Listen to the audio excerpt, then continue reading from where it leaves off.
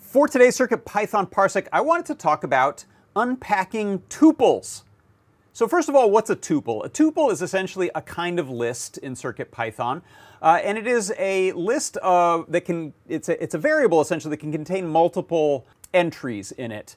It's not the kind you make and change, but it's often the kind that your sensors are going to make and send you. So in this case, I have a magnetometer. It has this command I can ask for the lis2mdl.magnetic. If you ask for, hey, what's the value of that? What it returns is this tuple.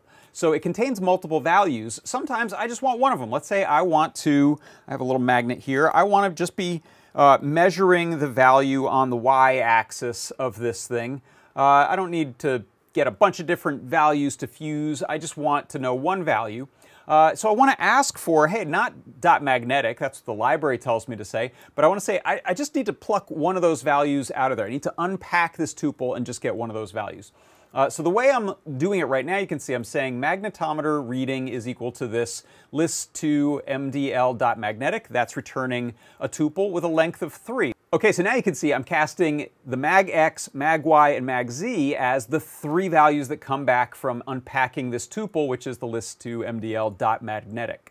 Now I'm just dealing with one of those by name. I'm saying, hey, go ahead and just print the mag-y. And so now you can see if I take my magnet and start hovering that over this little magnetometer here. Uh, I can reverse that and get those values to increase and decrease as I move that around. So that is how you can unpack a tuple inside of CircuitPython. And that is your CircuitPython parsec.